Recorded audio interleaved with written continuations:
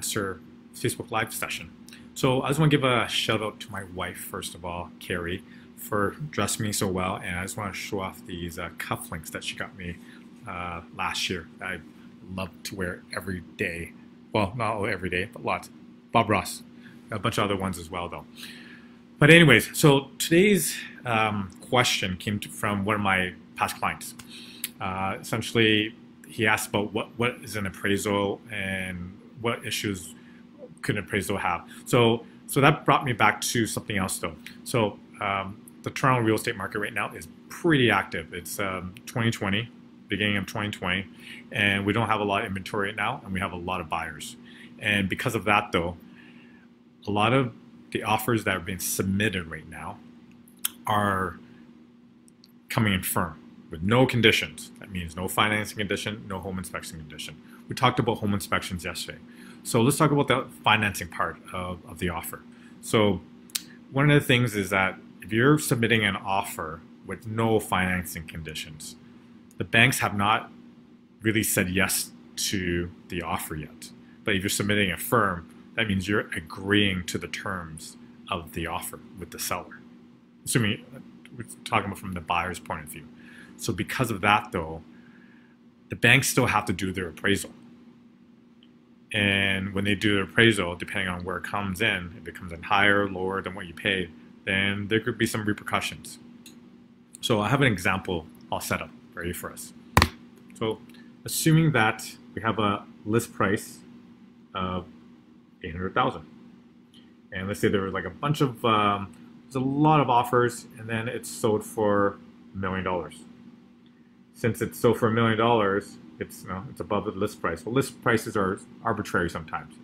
So next thing is, uh, let's say the comparables, most recent comparables in that area for those type of, let's say a semi three bedroom in East York, which uh, most of them are over this price already. But let's assume that uh, comparables for this these this type of property are from 900,000 to 940,000.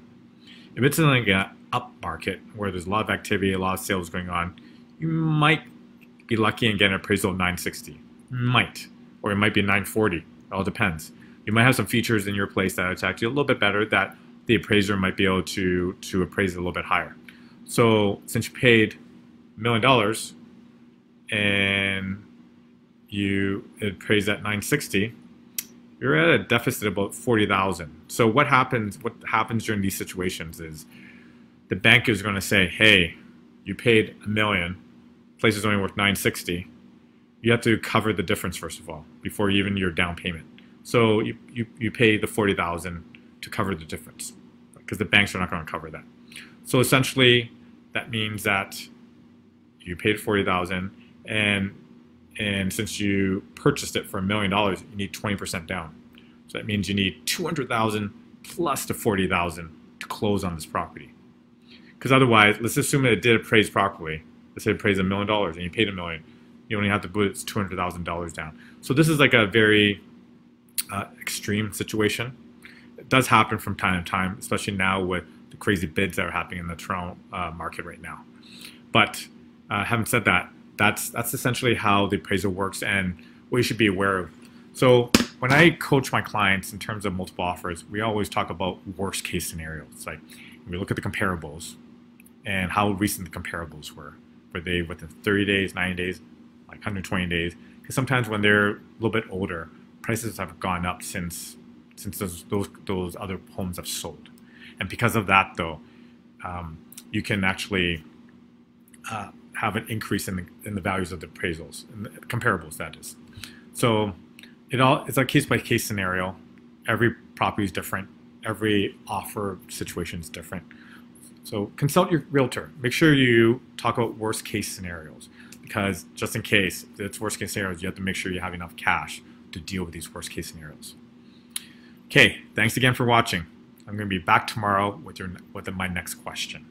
If you have a question that I haven't answered yet, please message me and I'll answer it in a future episode. Bye for now.